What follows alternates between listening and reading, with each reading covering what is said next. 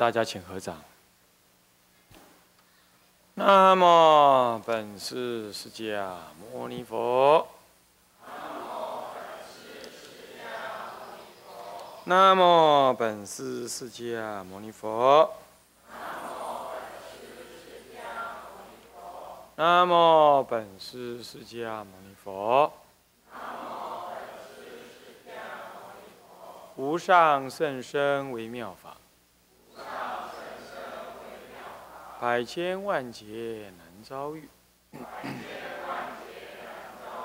我今见闻得受持，愿解如来真实义。佛教儿童在家教育，各位比丘、各位居沙沙弥、各位居士，大家阿弥陀佛。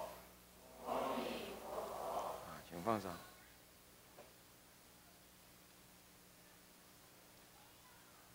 啊，我们上一堂课啊，跟大家啊上到这个第二部啊第四教育的总纲，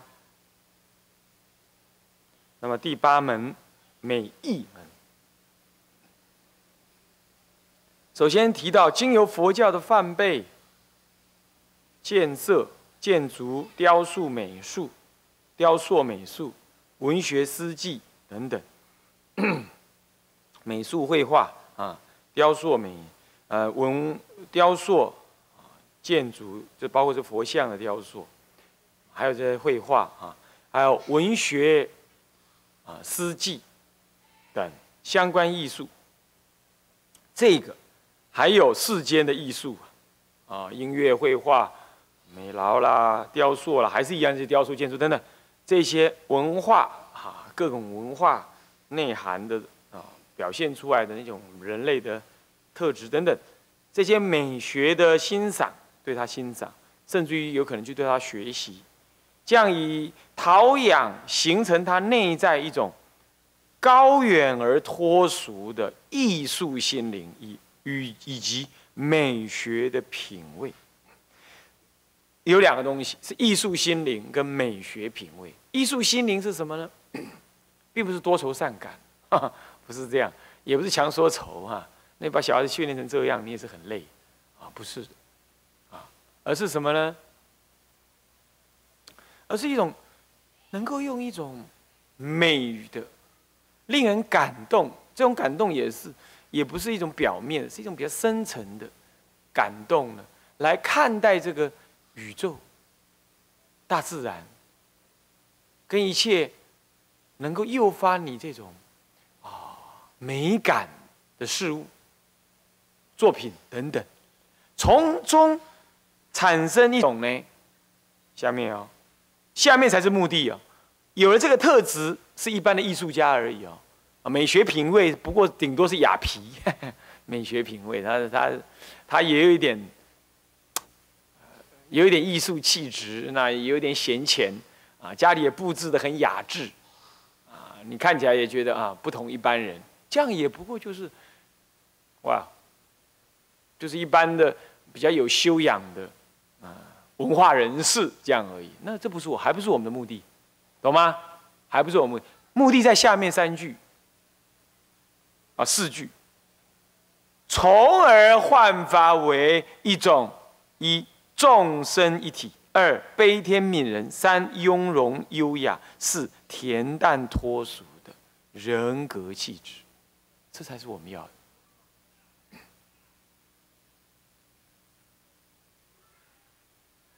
这才是真正我们要的。啊，众生一体，你说这艺术怎么有办法这样子？透过呢艺术的表达，你才能够看到创造这个艺术背后的那一念心。而你会发现，这念心离不开的是觉跟迷这两大类。从觉的立场说，哦，你看到佛性；从迷的立场说，哦，你看到众生的苦，对不对？是不是这样子啊？而这两类，前后者让你发而为一种悲天悯人，前者让你感觉到什么样子呢？啊，佛性的光辉，对不对？而这些都汇入到你的什么中道思想、大乘心里头去。所以说，你会感觉到，哎，众生，哎，美国人、欧洲人，三百年前的人，乃至于哇，多久以前的古人，哎，他有这种感觉耶。这样懂意思吗？你怎么去画孤独？你怎么去画一种内在的悲愤？你怎么样子去对你的民族被啊，比如说被铁蹄所踏啊，被人家消灭，而你作为一个民族的后裔，你怎么样子去疗伤？你怎么告诉你的同胞，从你的画作、从你的音乐当中，就表达的内在的一种一种，虽然有不满，但最后形成了谅解的这种艺术最后的根源。这样你懂意思吗？啊，你比如，呃，那贝多芬的那种，啊，所以你你一般听英雄交响曲是一种激越的，是一种青春充满的那种奋斗，但是到了命运交响曲的时候就完全不同了，对不对？一个受到历练的，啊，他受的那一个音乐家竟然耳朵听不到，这是有命运的这种乖舛，他怎么样去面对？他怎么样在这种打击之下呢？啊仍然表现的一种坚韧而不怨天尤人，从最悲恼当中转而为一种对生命的那种热爱。就他们艺术创作者就是到那里为止，生命的热爱，对人性光辉的礼赞，或者表达一种谅解，或者一种心灵的自我治疗，啊，这些很有玄哈，这比佛法还玄呢，因为。这个，这个，这个中国人的事迹呀，他不太会去感受这个东西。那你要学着去感受。好，你比如这个，好了呢，那这个是艺术家的境界。可是你一个佛教徒，你要在这个境界当中再超越，他停在那里。可是你的在诠释就不同了。命运交响曲，你应该看到是哦，一个受轮回，呃，受业缘。纠葛的这么样一个有天分的艺术家，他怎么面对这样子的去寻求突破？而突破的点就在那里，他最后也只能接受这个生命，然后重新再热爱这个生命。但是他并没有从热爱跟接受当中再看到解脱的可能。而你做一个佛教徒，你必须从这里再看到解脱的可能。然后呢，你会发现到啊，这样子一个无。我们说这样子一个不出世的天才也在那里而已。我真希望未来我能够去度他，有没有可能？有啊，用一戏啊，哪有戏？他还在轮回啊，他不知道跑到哪去而已啊。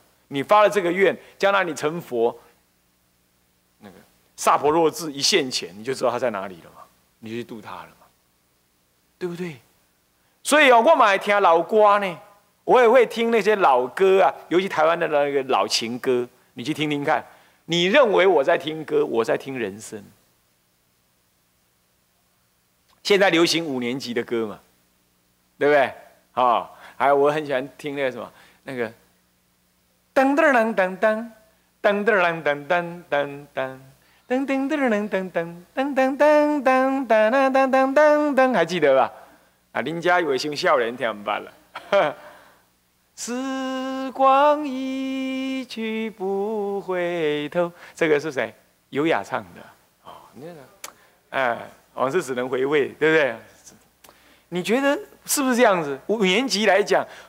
太多往事也只能回味，对不对？是不是这样子啊？对吧？啊，是啊。那这些你听的是歌，我们听的是人生。所以佛教徒当然不歌舞观听啊。哦，那这个也是确实是犯小戒了。可是呢，你可以从中得到更多，这样懂我意思吗？那犯还是犯，声闻法就是犯嘛，因为声闻法就不不，他不要求你这些嘛，对不对？他就叫你个人解脱，当然要治这个。可大乘法就不一样啊，最多众生唱这个，是少分众生才在修无常啊，你要知道是不是这样？而我们要度更多的众生的时候，这个你必须在正见现前的时候，你去念认知啊，那是什么？所以这会让人产生一种悲天悯人的感觉。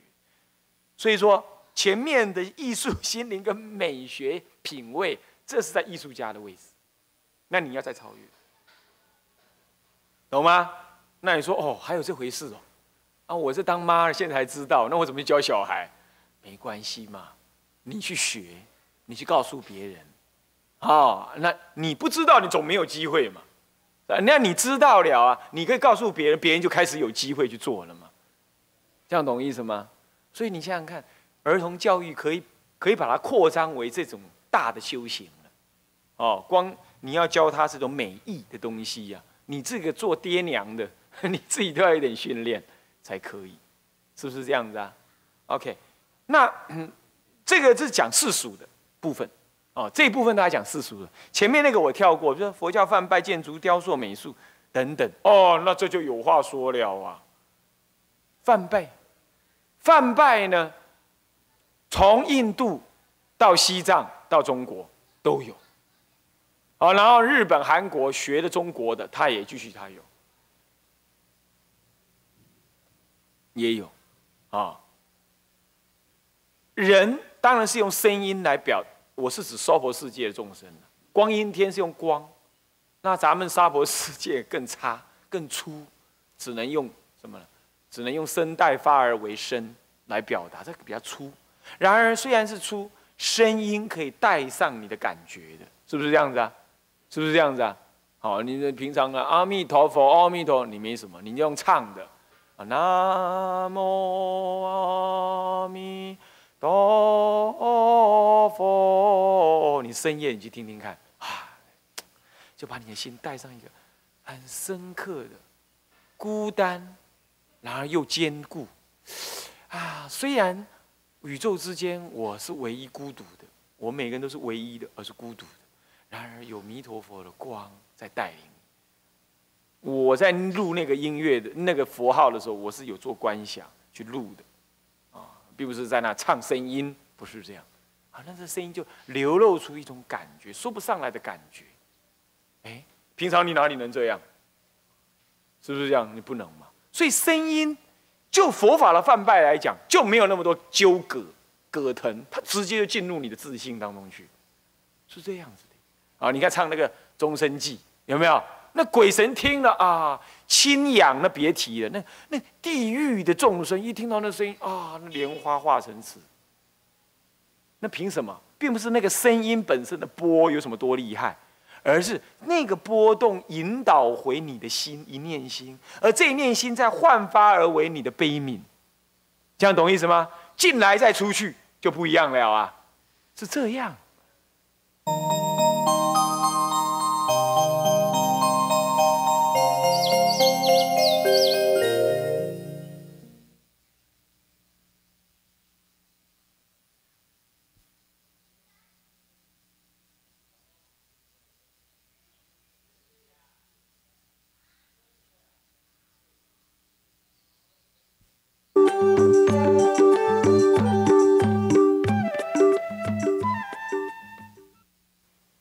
那你的心被那样子的悲怆啊，不不能叫悲怆，啊，那样子的悲悯，那样深刻的智慧跟悲心所引动之后，你动起来了，啊，因为动起这一念念头，一念三千，法界随你转，所以地狱众生就进来，再远也听得到，还是受你感动，啊，因为你是遇着，尤其是地狱众生而现而立的嘛，对不对？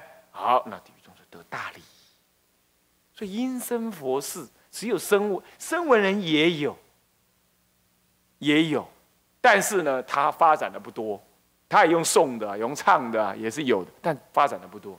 大乘佛法知道众生特别的需要这样子的引动，而且一一念三千的这种中道实相道理，他知道了，他敢于，而且勇于，而且特别的要运用它。声音来引动内在的那种感觉，你们拜过法华三昧忏也知道啊，你自己念，跟在大众当中一会儿唱，那感觉怎么样？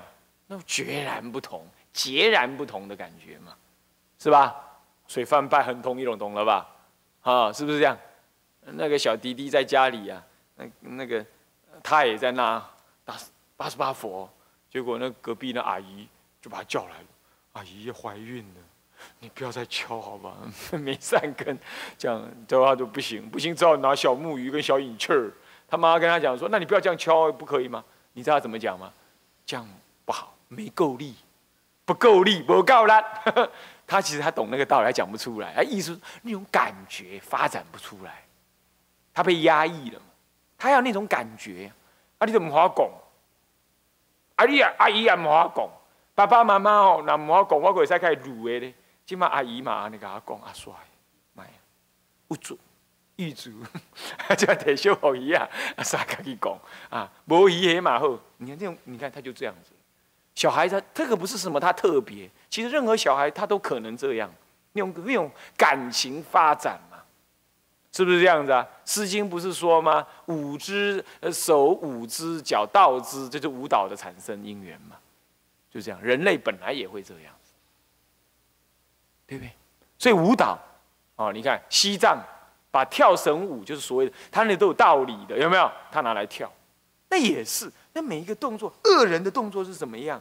那么呢，觉悟者的动作又应该怎么样？众生的动作被怎么样？当解脱的时候，动作又怎么样？但是要学的，他把它当做一种禅定舞啊，舞可以当做一种禅定，一种屈入大乘的方便。同时倒过来也可以让一般人去看，这样子的。那我们不懂的人就把它当做跳绳，不是跳行的，不是这样子。他那个都有道理的，每个动作都有道理的。那要高级喇嘛以上才能学这个，这个专业。好，这就是舞蹈了，明白吗？好，泛拜舞蹈，这样子。好，就以利益众生来说，啊，那有人呢？你看那个。呃，那个焦山定慧寺，啊，他就在那个大那个长江的那那个边上的一个山上，这样。那晚上那一大清早三点多做早课的时候，他那山下就堆了一堆那个还点着灯火渔火的那个渔船，就集合在那里，干嘛？不走啊？走不动啊？听到那个泛拜声音，走不动了，忙起呀，太好听了，就停在那，不动。早课做完，他们才开去造业，继续造业。抓鱼不是造业吗？这样。然后那个我们亲近的那个呃亲近过的那个，还现在还在亲近那个文界长老，他现在已经九十几了哈，八十九嘛，好八十九对吧？八十九岁，闰月算进去超过九十了啊。上海法藏寺，法藏寺，上海法藏寺梵拜非常好听。然后呢？因为在都市里啊，他们派一个警卫在外面顾着，不是不是现在中共的见证的，在之前民国时前民国时代，然后他那里头做晚课，然后晚课做完，有人出来说：“哇哇，外面那一堆人。”那就问那个守卫的，守卫跟他讲，守卫跟他讲：“没干嘛，他们来听你们做晚课啊。”那是干嘛这样听呢？他说：“每天都嘛这样，你是你们没出来不知道而已。”他为什么呢？好听啊。那车子从那门口经过就停住了，黏住了，动不了。这会儿听，听听啊，哦，站，好，别说啊，还常常醒过来，开继续。刚刚停在那里啊，时间都停住了一样。那也是文界长老告诉我的。你看看，可以将一个这么散乱、根本就红尘中的人，就这样把他吸住。哦，那是一个很妙的法门呢。哦你要叫他来听经，我给你糖吃好不好？我给你几十块钱给你，让你留留下来听听晚课，他还不愿意。但是声音这么好，他就自动留下来。哦，这样了解吗？哦，是泛拜，是这样。然后在建筑，哇，那建筑更是了。建筑是人类文化的活化石。三百年前人怎么过生活？怎么样子运用大自然的东西来做过他日子，建他的房子？他们的科技怎么发展的？啊，然后呢？他们怎么样子形成他们的动线，生活中的动线，睡在哪里，吃在哪里，用功在哪里，大殿多大，好，那个锅盆有多大，你大概就可以完全直觉就看出来，他有多少人在那修行，对不对？他们是早上在哪里，走到哪里，他们是从哪里走到哪了？你你文字怎么讲都讲不清楚。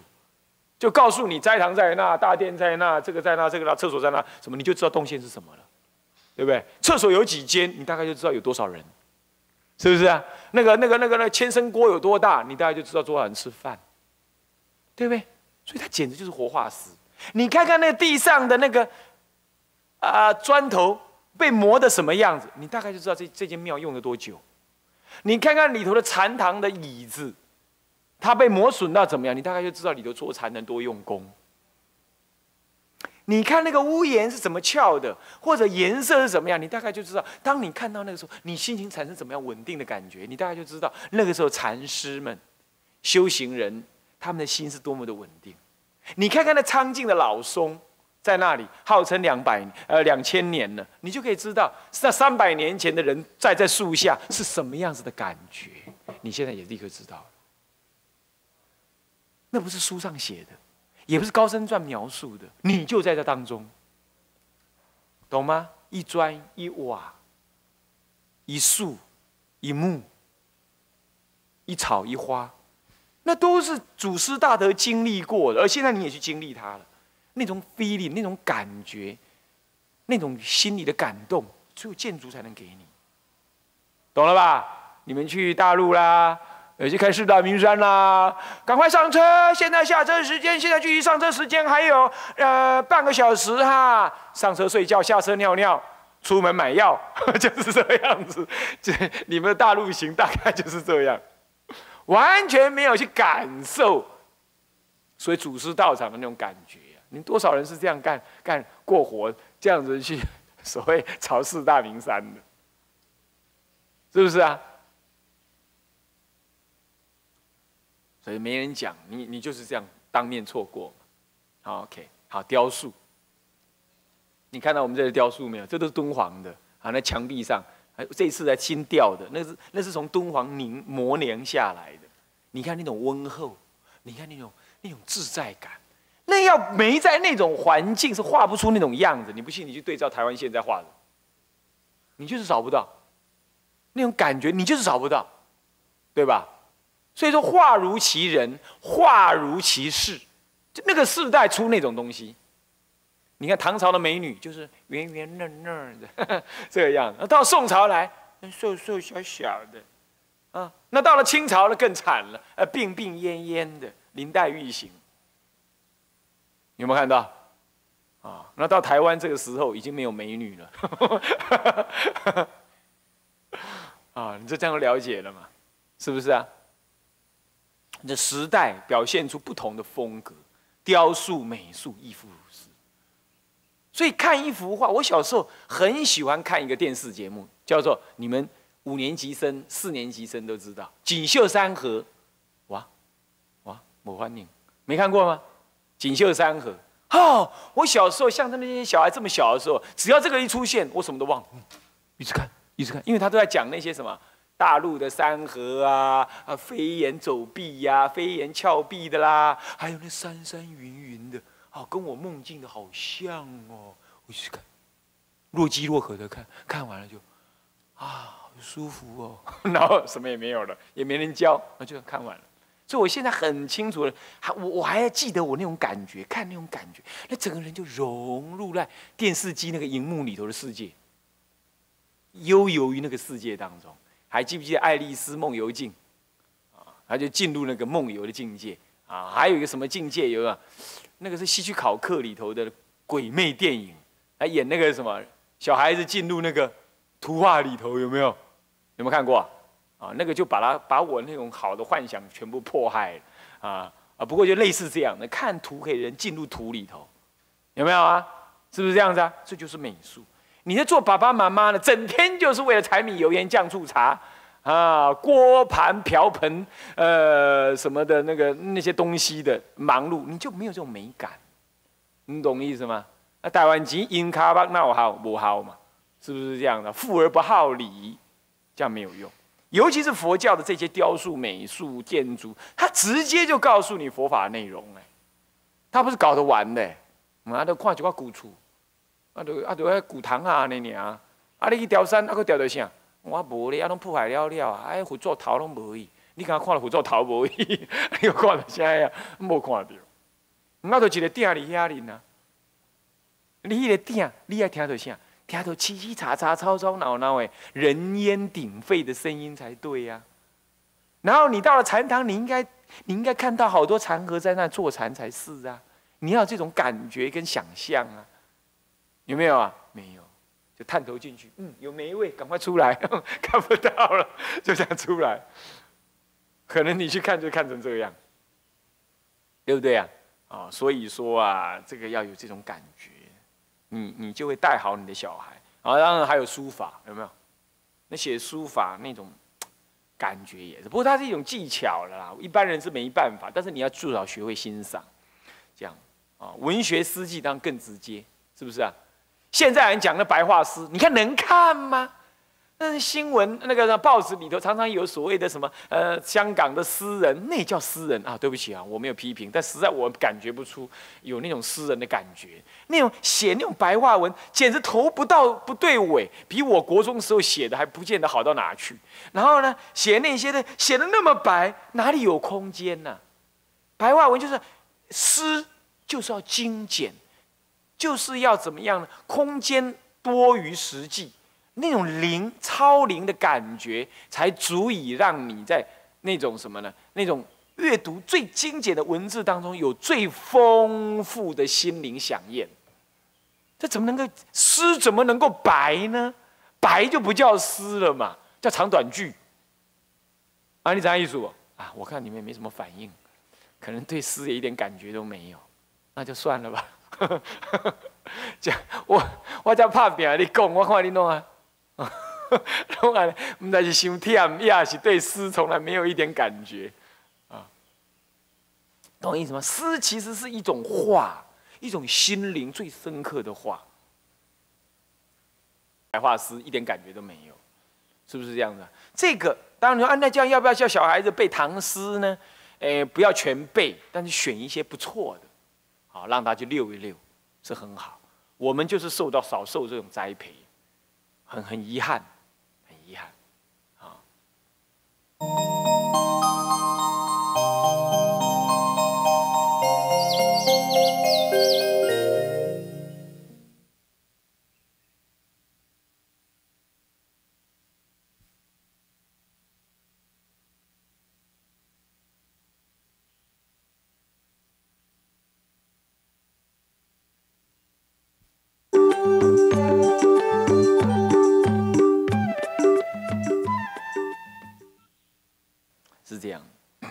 这文学诗记啊，这些相关艺术等等，那后面的所谓世间的艺术，当我刚刚已经讲了，对不对？乃至听流行歌，我没有鼓励，我只是说，万一你听到了，也不要这样子，哦，也不必这样，哦，也必阿弥陀佛，阿弥陀佛，我接受八关斋戒，阿弥陀佛，阿弥陀佛，也不必搞得这么严重，是不是这样的？你要学的去转，啊，这学的去转，啊，是听的是人生。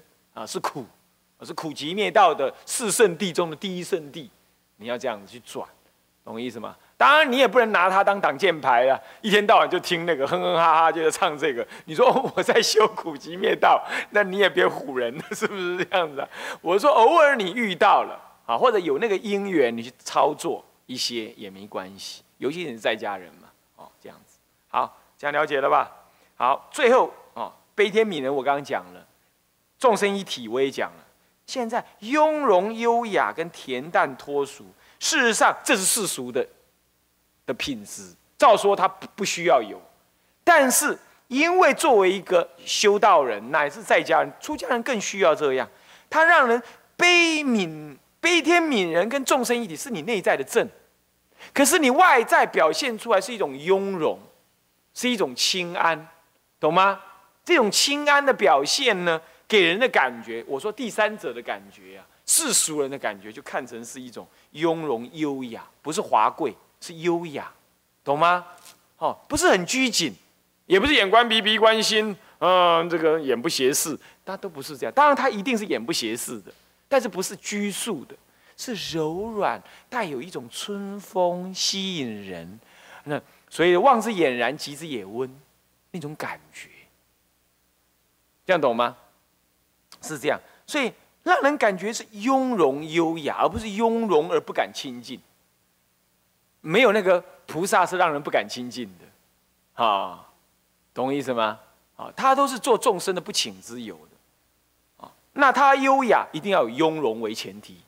是不是这样子？呃，长得那个嗯，尾尾碎碎的啦，那夸鼻啦，那大小眼啦，那耳朵一高一低啦，那水桶腰啦，那大象腿啦，那那 那样子，然后哦，半条啊，系几堆呀，你怎么用得起来嘛？是不是这样子啊？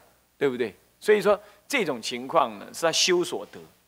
那恬淡啊，什么事情都举重若轻，举重若轻啊，事情来了啊。他有一种超俗的 心灵来给予面对，他不会过度的急躁，啊，是这样，这样了解吗？不过这不能装哦，装就东施效颦，啊，画虎 画虎不成反类猫，反类犬，那那就很糗了啊，是这样，这是一个理想，它自然而至，不是装出来的，懂吗好。最后是什么呢？最后收尾这个地方就就是人格或者出家人叫僧格门，这是前面几项集合起来，最后要收成了，就在这里，懂吗？啊，无论解，无论行，无论修持，无论无论无论是体能，无论是生活、视觉等等，啊等等啊，讲到视觉，本来要补充一些事情的，等下再给你补。我们先补充一下好了，好吧？补充才进入这个人格。视学门我们讲的比较快了一点，嗯，有一个生物实验，让你知道说，学习世间学问也要用灵活的角度，也不能够只是看考试高低，这是没有意义的，同意思吗？我读高中的时候呢，我的成绩中本中等而已。中等而已，但是我看我那成绩比我好的，甚至考上台大电机的，生活都很累，很苦，很苦，是这样，啊，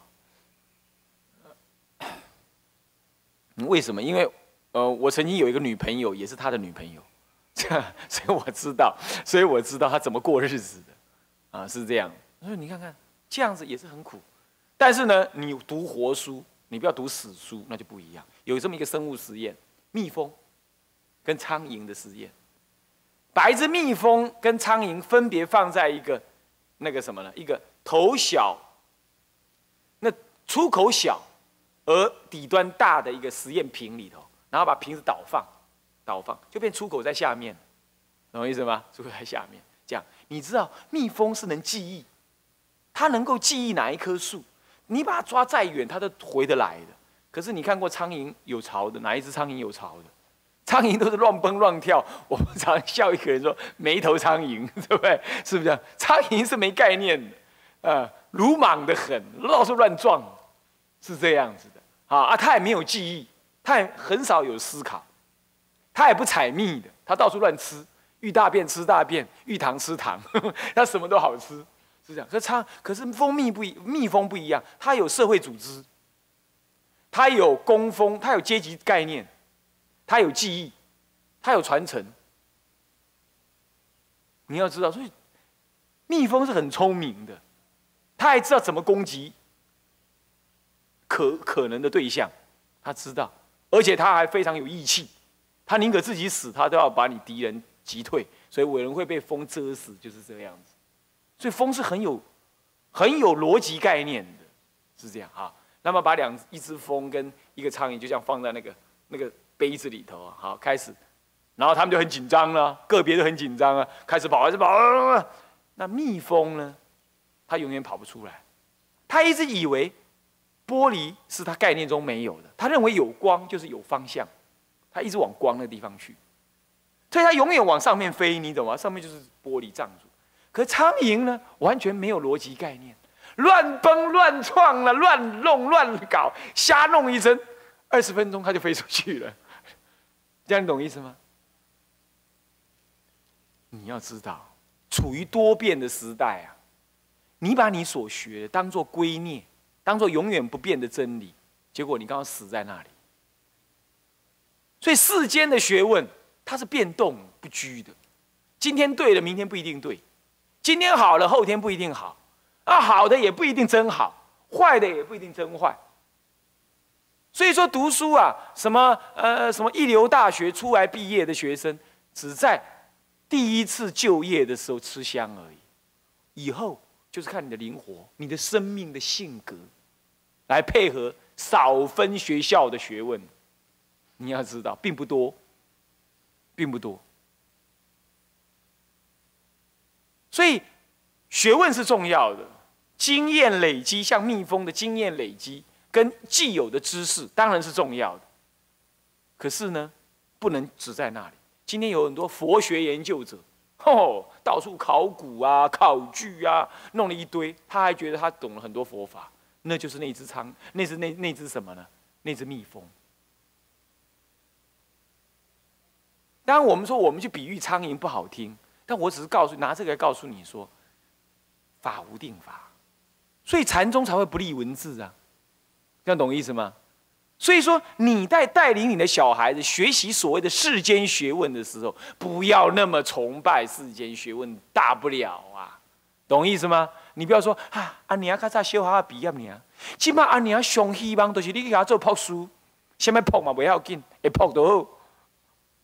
哇，你讲那种错误的思想。懂意思吗？能读就读，不能读无所谓。他读起丁西洋，他来，你西洋你他。拥有一颗灵活的、善良的心，能够随时吸收新知的心，那比读那些死板的世学来的更重要、更就近。那你说，那你意思是说啊，学生啊，学校考试啊，读书都没关系了，无所谓了啊？哎，我不是讲这么样子，我只是说尽量就好。懂吗？像有的妈妈不一样啊，大明，你上次数学九十九哎，你这次怎么九十八？哦好，哇，这完了的样子，好少一分就天塌了，你知道吗？你知道吗？差一分就从台大掉到清大了，你知道吗？哇，想那么远呢？这种妈妈，你看。这怎么教小孩嘛？那是神经过敏的，你懂意思吗？懂吗？真的不是这样。而我们以前的大学入学就是这样子嘛，零点几分差一个系，这两种人哪有什么差别呀？你说这个家伙比他多零点三分，那搞不好他打瞌睡乱勾的，是不是这样？他勾对了都说不定，是不是这样子啊？那怎么会有人格的根本差别呢？和电脑选分呢？没有办法。一一分选人呢，没办法，那父母就紧张了个要死哦，有没有啊？是不是啊？现在其实也离不开这种宿命了。我看那什么新教学教改方案，七扯八扯，还不是拿这些来当当标准，也没办法。所以呀，都是一念贪，才在那里愤愤不平。没有错，他改的不好，教改是改的不好，有点乱，没有错。可是犯不着紧张成这样，也犯不着愤怒成这个德性，你懂意思吗？哦，老师没受尊重，老师没受尊重又不是今天才有的事，老师自己不尊重自己已经很久以来的事了。人先必自欺而后人欺呀，你不知道吗？对不对？有很多老师在做些什么的，过什么日子的啊？因为那是少数啦，我们都是很好啦。当然我也知道了。不过呢，唉，时代变了啦，老师已经被渐渐当成一种职业，所以要人家尊重老师，自己一定要尊重自己的专业，也尊重自己在教小孩子的神圣职务。然而今天，从学从师范系系统出来的，真有教这些吗？还真有这种感觉吗？学校的校长、教务主任等等，还教导新来的老师有这种感觉吗？已经根本没有了，根本崩溃了嘛，是不是这样子？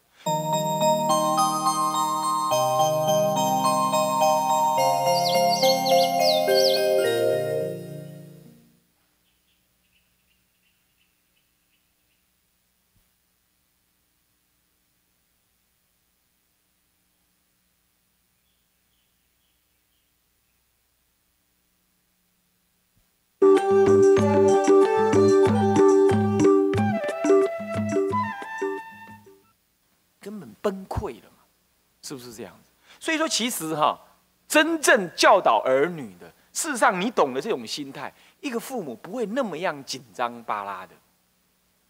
所以，像反观起来，神经有时候稍大条一点，反而好，反而好一点，啊。你看我们本辉师傅，他小学毕业而已啊。我昨天还看他在讲经说法，他还能讲，是不是这样子啊？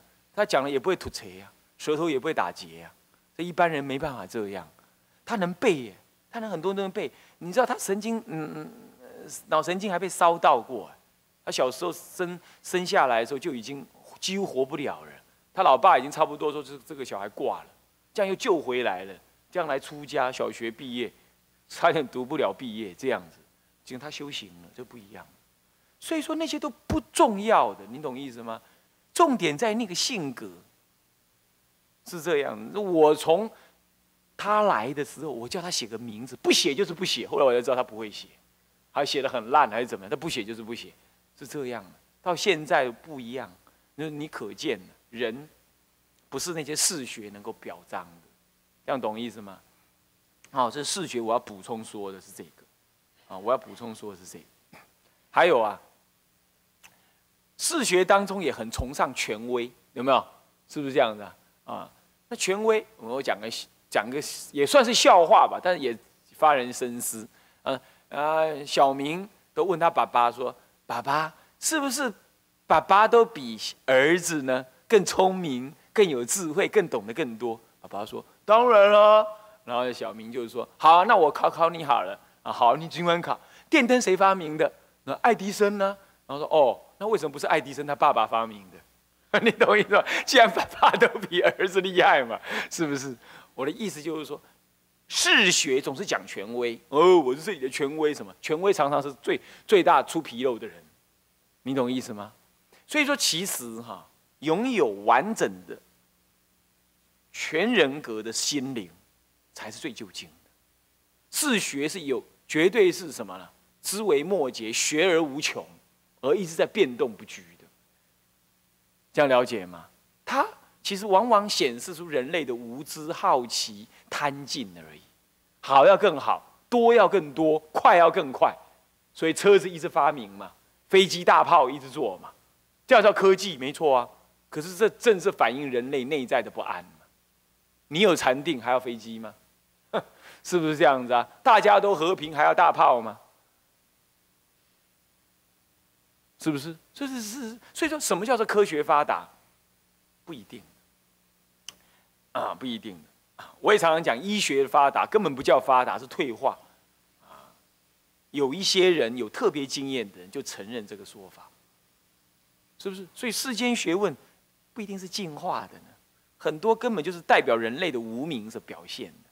那你说这样是不是法师你反制，或者佛教反制？我不反制。我只是要告诉你，定位视学不能够把它过度的神圣化，懂我意思吗？那没什么了不起，啊，这只是一种过程而已，是一种人类今天生活一种踏板而已。他追寻他们的所谓更好、美好生活的假象而已。真的有更美好吗？今天科学更发达了，真的有更美好吗？不尽然。这样了解吗？哦，这样这样你就会不会那么逼你的小孩，我一定要读的怎么样怎么样，这不尽然。OK，这样了解吗？好，好，最后才讲到升格门哈，那是补充的部分，就回到了升格门。从讲说及阅读中外诸伟人，这通世俗的；再来祖师大德及佛菩萨传记，这是出世间的这两类的传记。或者加言移行讲解，告诉他当中来体会高尚人格，这是前者；或者完美升格，这应该做黑刮胡哈。其实不刮胡也没关系，让你了解完美的升格，在家人也可以了解的嘛，对不对？啊，当然不刮也可以。所应具备的一种认识，一种决绝，一种决定坚决，一种勇气，一种坚持。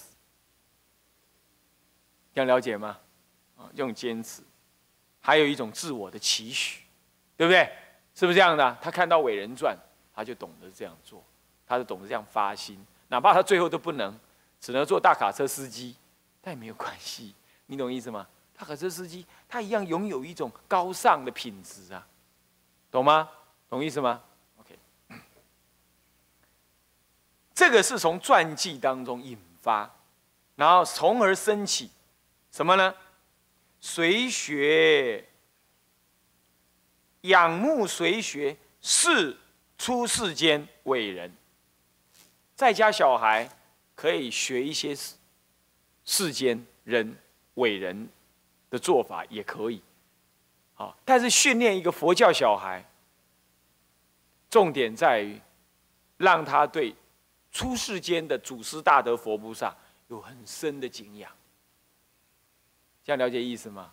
好，这个更重要，这个更重要，但是也不排除他对世间某一些伟人的敬仰，啊，不过最好不要去敬仰希特勒这一类的了，啊啊这一类的，啊，那敬仰一些比较啊。跟跟慈悲智慧有关的那种人，啊，是可以的。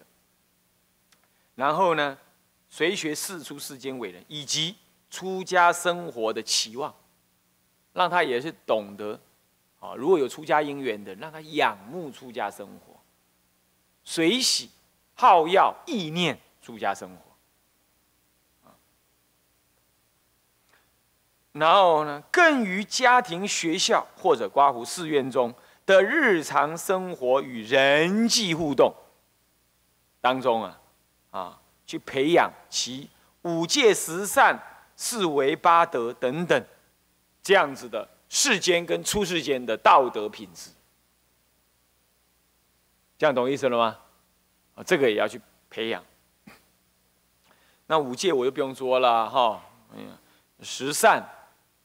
就是身不犯杀盗淫，啊，口不犯妄语、恶口、两舌、绮语，那么呢，意不犯贪嗔痴，或者少于贪嗔痴，这样叫十善。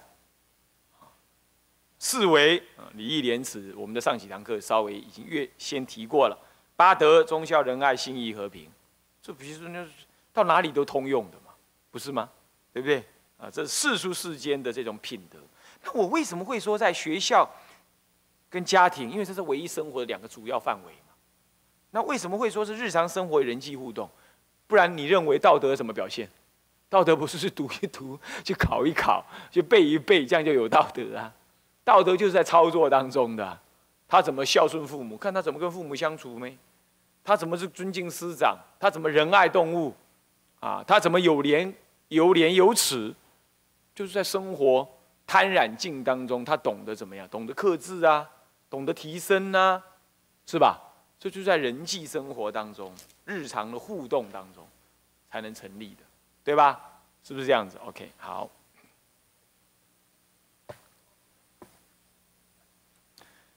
啊，五以上九门呢，终于说完了。